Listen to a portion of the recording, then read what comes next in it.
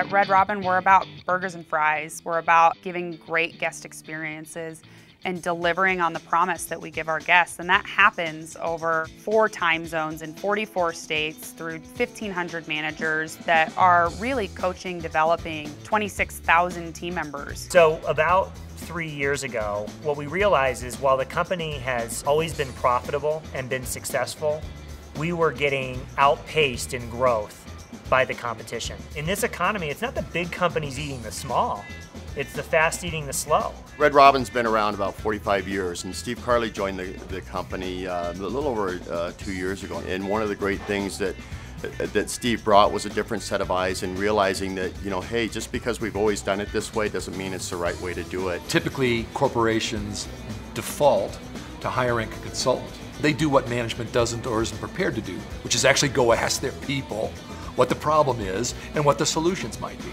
But let's just save the million bucks and ask the people ourselves and listen. When you take great care of your team members, you know they're going to take great care of your guests. That's why we chose Yammer, where we can support them and we can provide that additional support that we didn't have before for issues that we didn't even know that they were having. We had a culture that truly values team members and truly values their voice. And Yammer's been a very important tool for us to give everybody a voice. By working social, by using Yammer, we get one step closer to our guests, one step closer to the feedback that they're giving us, which is, allows us to react to it. I think with Yammer, we're able to identify some successful items faster and roll those out faster. So I'm really able to work with my people to get that guest experience better ultimately take care of our stockholders. We deliver our promise with a server standing right here at the end of a table. So if you can talk to those people in a non-threatening way, it is extraordinary what you can learn